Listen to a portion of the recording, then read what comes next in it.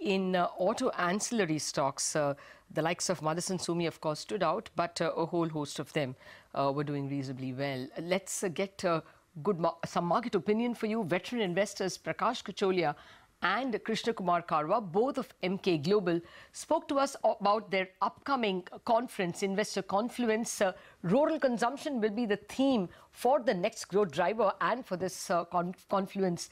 They told us they also believe the market is a bit exuberant uh, currently.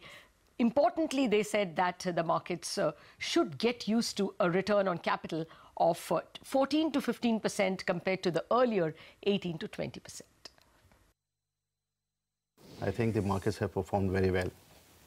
It's more, I agree that as of now, it's, slight exuberance is there, but it's more because of the liquidity flow. I think post-Brexit, we had have at least 2.8 billion FI flow into the country, which is a huge number. But if you see the amount of money that has come into the emerging market Asian countries is 20 billion plus. So I think we have received very little of it. I believe that the FI flow will continue. And I personally believe that for next two to three years, the markets will be good.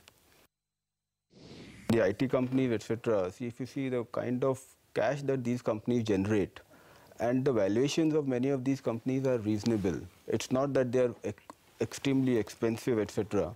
So growth is a challenge. But the thing is that we have seen the transformation that these companies have gone through in their last 15, 20 years of existence. And again, they are going through a transformation. So the trick would be to which company to back at what point of time. Okay, so that's some